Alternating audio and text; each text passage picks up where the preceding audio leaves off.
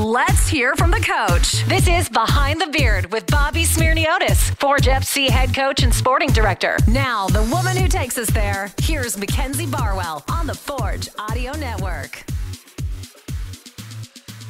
All right, we will get started here. Episode three of Behind the Beard. I am joined by head coach and sporting director, Coach Bobby Smyrniotis. Bobby, thank you again for joining me today, taking the time from Montreal and on a game day. How are you? I'm doing well. Always a pleasure.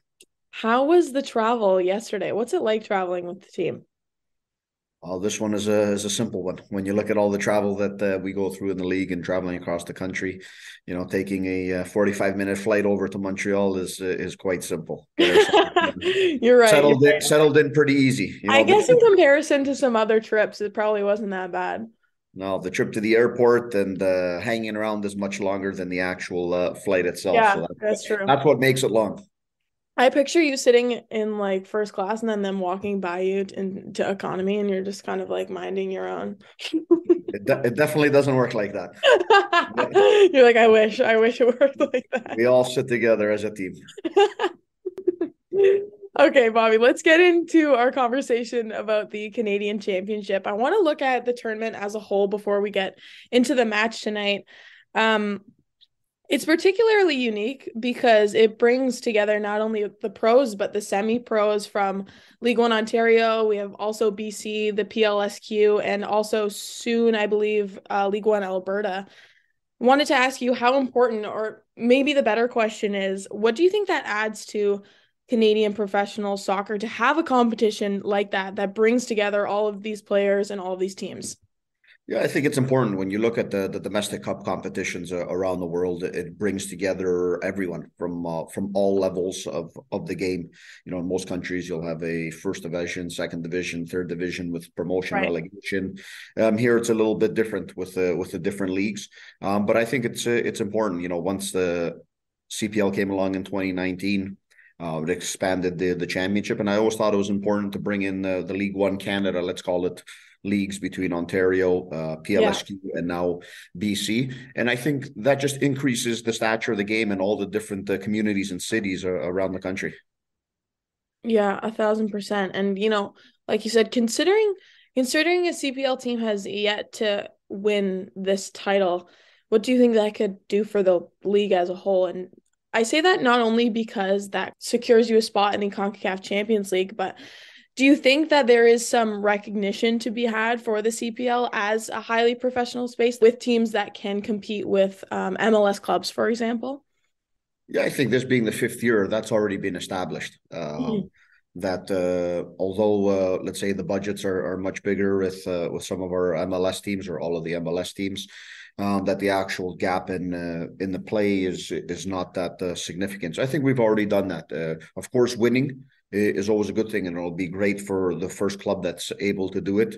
Um, we hope it's uh, it's us, um, but it's also not the the only factor that says you know uh, that legit- legitimizes things. You know, I think we're already yeah. past that point, and and what we'll see in the future is we'll we won't talk so much about the the CPL against the MLS team, but it's more going to be about uh, the challenge between two teams to go on to the next round and the, and trying to win a trophy. And I think that's what will become more normal in the next couple of yeah, years. Yeah, yeah.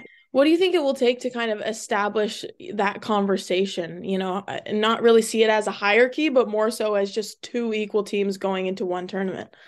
Yeah, I think next year when when you'll see CPL teams, uh, uh, Canadian MLS teams, both playing in, in Champions League competition, um, because that's the reality. You know, CPL will yeah. have two teams competing in Champions League with a possibility of a third one um, through this event. Then on the continental stage, uh, you're all equal. You're playing mm-hmm. in the in the continent's top competition. Doesn't matter which uh, which league you come from, and I think uh, that will be a, a major difference in, in just looking at it from there. So if a CPL team can uh, can win this Canadian Championship, that'll put three teams uh, from the CPL into into Champions League, and I think that's a massive boost uh, for the league and for the clubs themselves. Forge fans know what the stories have been when you guys have met CF Montreal in the past. That first matchup being the 11 long rounds of penalties and then the outcome last year in Montreal. What do you expect to see from them tonight? And how are you guys approaching this game? Yeah, I expect to see the best out of them. Um, you know, they're not having uh, the best start to, to their season. Um, this is a competition for for all teams, including us. That's be your best in four games, and you're in Champions League. Uh, right, so I expect to to see their best lineup and uh, their best foot forward uh, tonight. And on the flip side, uh, you know, we not only have to be good tactically, but our energy levels have to be high. You know, this is a game where we have to leave everything out there uh, physically um, on the pitch, and that's one thing uh, we're looking for. And uh, you know, more often uh, than not, or the majority of the time, that's what we're doing in, in big matches as a team. Um, we have players with experience in these types of matches, and that's what we're asking from them uh, this evening. It's just uh, when we come out of this match that we've given everything we have on the pitch. Uh, take tactics and all of those game plans aside, um, the physical component has to be hard for us like you said, CF Montreal not having the best start to their season thus far. They're coming off of two regular season losses. Do you think that plays a factor in matches like this? To be honest, uh, no. I think uh, this is totally a different, uh, different competition, different mindset. Mm-hmm. Um, because uh, you could be confident of uh, of many wins, um, but this is ninety minutes of uh, of pressure football. you win, you go on. You lose, you're done. Um, you know, there is no other game without uh, without taking care of business here. So I think on the flip side, you know, when you're maybe not in the in the best form for any team, whether that's us or, or Montreal, um, you know, you know, this is a game that can that can change your path a little yeah. bit and really create a good atmosphere amongst your group. So I think that's what we're going to see tonight in in both of the teams. It's it's two teams that obviously want to win, but of course, none of the teams want to lose on that pitch. Yeah, it's win or go home. And I mentioned the penalties earlier. With games that are formatted like this, we tend to focus, I think, on the players' nerves because it can go to penalties. And who knows, maybe that'll go 11 rounds. But what kind of nerves does that bring to you as a coach? And how do you prepare your players for situations like that? Yeah, you, you prepare throughout the year. That's the most important thing. You you don't make it a focal point of the week coming up to games like this and so on. You have to make it a regular occurrence amongst your players. Um, so when you come into this situation, it's as normal as can be for what is a, a little bit of a pressure uh, situation. As for us, uh, the coaches, uh, we know who we want to to step up. Uh, it's something we have, and, and you know once it goes there, it's just a matter of, of execution. And You're, really, a yeah. lot of time that it's your playing roulette. You don't know who's gonna who's gonna come out on top because in the end, somebody's gonna miss. So you just got to sit back uh, let the guys do what they, they need to do, and uh, hopefully it turns out in your favor in the end.